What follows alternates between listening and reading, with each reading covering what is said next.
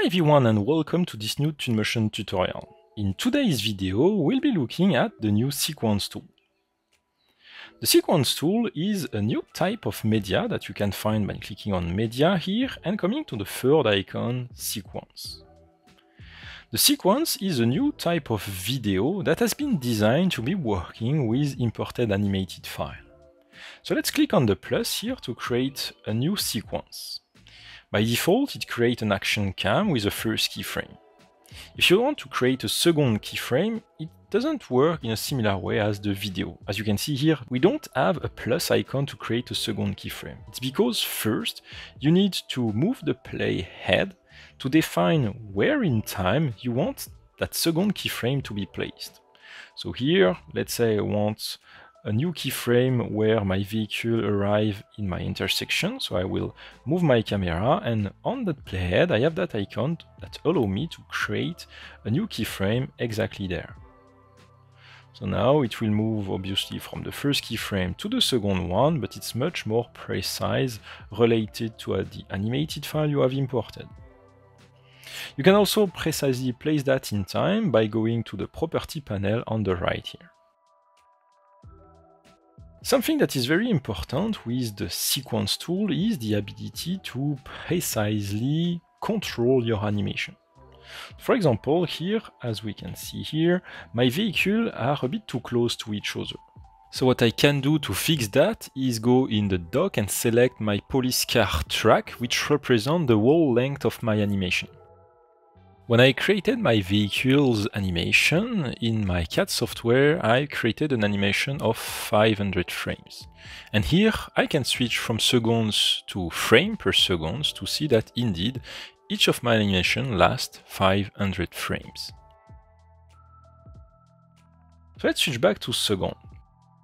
Right now, as we can see, the animation, the two vehicles are a bit too close to each other. So what I can do is add a bit of a pause before the police car start to chase my robber car. To do that, I will simply select the bar and move it back in time. So here now, there is a bit of pause before the animation of my police car is starting. So let's pre-visualize that, clicking on play. Doesn't start right away, and we can see that the police car arrive a couple of seconds, just one second after the robber car. So right now I'm working with three animated files. So I have the sedan that is arriving on the right. Let's actually move the camera over here and see that this vehicle is simply just braking before the vehicles turn on their left. We have the police car and we have the robber car, the red one. If I'm working with more animated file, I can also expand the dock by moving it up like that. What I want to do with that first sedan here is to really brake at the last second.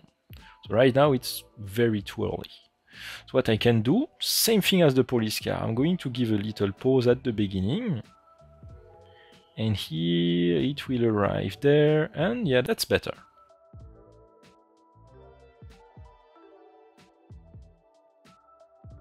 Something I didn't notice when I was creating the animation of the car braking is that at the end of the animation, the wheels of the vehicle come back straight and it doesn't look very realistic. So what I can do directly within Twinmotion is trim the end of the animation by simply grabbing the handle at the end and moving it toward my playhead over here. So here the vehicle will brake and after that it will completely stop the animation. If you have some animation that loop, you can also select your animation by clicking on the bar over here. And here you have all the options that you have on the animated file, like set the play mode, play with the speed, or the start delay. So I'm pretty happy with the animation so far. I have my car that turned, that one is braking, and I have the police car that arrived just one second later. So now let's actually maybe edit a bit our camera. So we'll select my keyframe. My keyframe is highlighted in pink. That means that now all the settings I'm controlling will affect that keyframe. So here I can change, for example, the camera by going into the film back, one of the new options available within uh, that new version. Let's press on refresh and let's have a look at the different preset options that we have available. Let's maybe use a Super 35, an IMAX 70, or maybe just a 16 by 9 DSLR.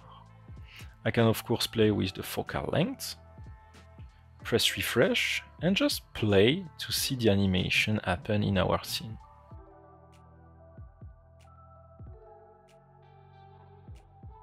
Let's say I also want to change the time of day. It works in an exact similar way as other media. We'll come to the environment and here just play so we have a nice sunset.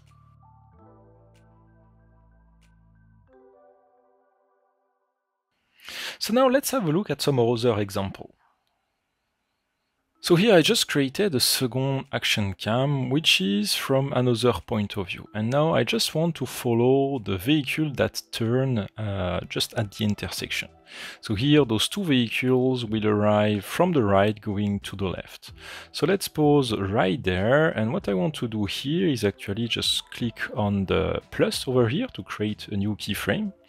If I just want to um, make my first camera a bit uh, a bit like it was filmed uh, by the hand. I can just make uh, some slight movement, um, really, really subtle movement, so uh, it feels like the camera is, is just moving a bit.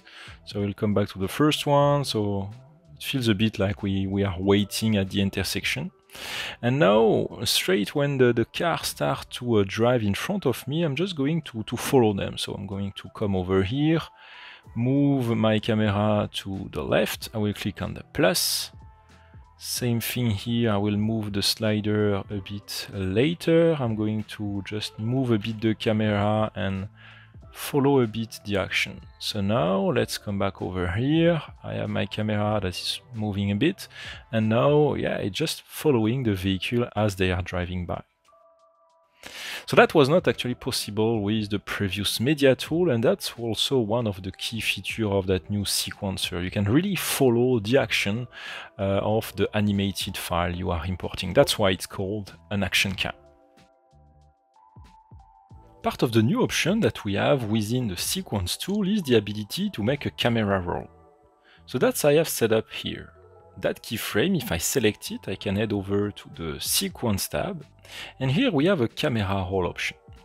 Right now, this keyframe have a camera roll at 0, and that one have a camera roll at minus 18, which is that nice kind of drone look that I wanted to create with my camera movement chasing the action.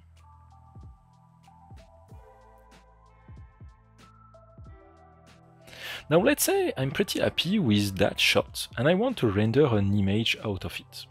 For that we have added that button here, the snapshot icon. When you click on that, it will create a new image that you will find in the image dock. It will save the camera roll you have set up, plus all the location of your animated file. Finally, the last option I want to show you is the smooth speed. As you can see in this camera movement, I'm starting with a slow camera movement, then I have a quick acceleration, then back to a slow movement. That's just because I've set up some keyframes close to each other and some other are pretty far from each other. So now, while I am in my sequence, I have that smooth speed button that is available within my uh, sequence tab here on my property panel on the right. If I click on that button, have a look at the keyframe over here. As you can see here, they have been rearranged to create a more smooth camera movement. So I'm going back to the start here, I'm going to click on play, and now I will have a constant speed throughout all my keyframes. And that's it for this quick introduction to the sequencer. Thank you everyone for watching the tutorial, and we will see you soon for the next one. Bye everyone.